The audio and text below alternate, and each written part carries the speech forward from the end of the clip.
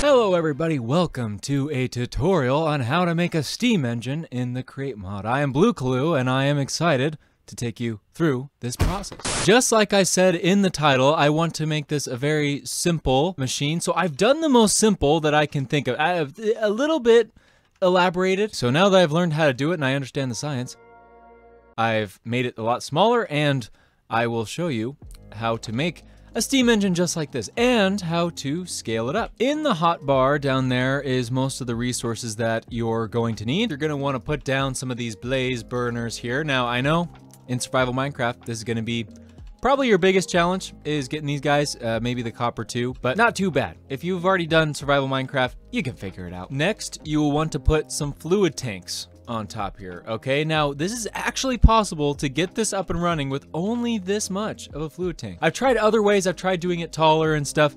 This wide array is the best that I can find. And if you really need to, you can put fireplaces down here. The only thing is you can't scale this up afterwards with, with the fireplace. Next, you're gonna wanna put your steam engine. And this is a little bit tricky. You kind of have to, you see the little, uh, little floaty thing over here, look in that direction. Yeah, see, that's how you want to set this up. You're also going to need a wrench to get this fixed up, okay? So, blop, uh, blop, uh, there we go. I don't know, I maybe I was crouching. Uh, no, if you, if you crouch, you break, you break it. There we go. Oh, I see. You have to hit it from this side, okay? So that's a thing. Yep, okay, you're gonna, Yep, you just learn. I'm learning too. Then you're gonna wanna put a large cogwheel right there. And this is kind of where I dug this pit right here. Now, the important thing to know about this is it has to be an infinite water source. So we take the bucket, we do that. Now, you can also do that like this. That's also, if as long as you're taking from this middle one right there, you'll be fine. But I like doing these. They just make me a little bit happier, but these are sometimes necessary for those tight situations. Next, you're gonna wanna put the mechanical pump. Now, I just stack them up like this, and you do not need a pump inside the water. That was another thing that I ran into. It only needs to be right on the top, and with this, oh, actually, it needs to be kitty, kitty corner because it uh, log large cogwheel. And you see how those are interlocked? That's what you want to see right there, okay? Now you will take the wrench and point that upward. And then what you'll do is you'll put a little cog there and you are going to need a hand crank. So these are just kind of the, the side tools that I'm pulling out here. Now I like to connect the pipes like this, just straight over, angled in.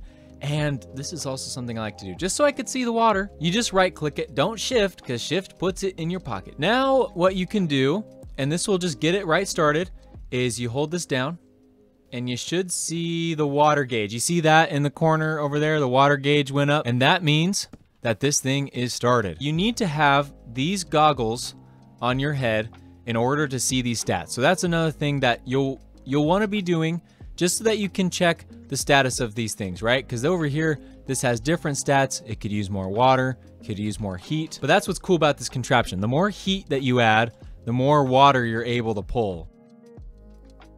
So here's the stats. So this is 2,048 stress units. That's what the SU is. And look at this. This is using the whole 2,048 stress units. But just check this out. This is only using 128 stress units. So this actually is why we can expand this. Even at this small stage, we can already put some other steam engines and that takes 682, 682, 682, and this is still at 128. Now, let's see what it's like when we heat this thing up. We get our lava bucket. So the stress units go up a little bit, right? Because that's going up. And uh, look at that. That's at 5,000. That's at 5,000, 5,000. And there's actually still more. We could put two more, potentially, steam engines on top of this. So you're looking at this like it's a system. This is your rig and you're looking at this as the center of the system. Everything that goes out from it, that's this is stress being used on the system, and your arms are going to be how does this divide the amount of stress this whole system can take. The red bars, they tell you, okay, this is how much more size we could use for our best item, which is heat. So heat's doing really well. Water could use a little bit more. Size, we could use a little bit more too. All you need to do to increase the size is have four fluid tanks. Pop, it does another one. And look, you've got more size. Uh, and look, uh, more stats, right? So this boiler just leveled up to level two. Uh, this one is They're they're a little bit different. Oh, because this one has heat. So the level is based on all of the factors. Heat, water, size, all increasing. You could put steam engines all over this thing. Look at this. One, two, three, uh, four. And that, my friends, is how you make a self-functioning steam engine in Create Mod.